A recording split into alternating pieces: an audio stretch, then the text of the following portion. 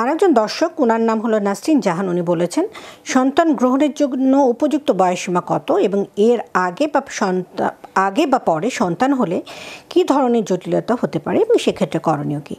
আসলে সন্তান গ্রহণের জন্য যদি উপযুক্ত সময় বলা হয়ে থাকে, সেটা বলা হয়ে থাকে আঠারো বছর বয়সের পর থেকে শুরু করে তিরিশ বছর। এই সময়টা সন্তান গ্রহণের জন্য আইডিয়াল টাইম বিফোর আঠারো, অর্থাৎ যখন সে প্রাপ্তবয়স্ক হওয়ার আগেও যদি বিয়ে হয়ে থাকে, সেক্ষেত্রে অনেক সময় নিজেই অনেক ধরনের ডেফিসিয়েন্সিতে ভুগে থাকে বা তারও পরিপূর্ণ যে ডেভেলপমেন্ট সেটা হয়নি, তো সেক্ষেত্রেও তখন অনেক সময় সমস্যা হয়ে থাকে।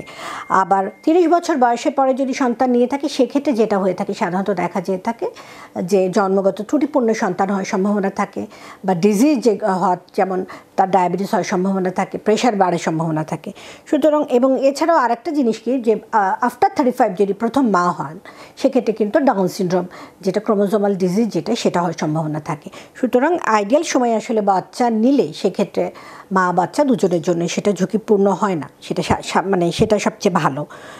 আর সাধারণত যদি কম বয়সী সন্তান নিলে যেটা হয়ে থাকে যে বাচ্চা নিজেই ডেফি মা যেহেতু নিজেই কিছু নিউট্রিশনাল ডেফিসিয়েন্সিতে ভুগে থাকে, তো সন্তান প্রিমেচুর হতে পারে গ্রোথ রিটার্ডেশন থাকতে পারে, পরিপক্ক হয় না সন্তান এবং সময়ের আগেও অনেক সময় ডেলিভারি হতে পারে।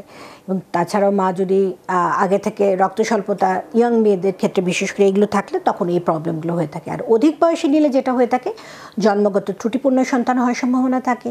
এছাড়াও দেখা যেয়ে থাকে যে জেনেটিক প্রবলেম যেটা আমি বললাম ডাউন সিনড্রোম হওয়ার সম্ভাবনা থাকে এবং অন্যান্য যে ডিজিজগুলো ক্রনিক ডিজিজ যেগুলো, সেগুলোও হওয়ার সম্ভাবনা থাকে।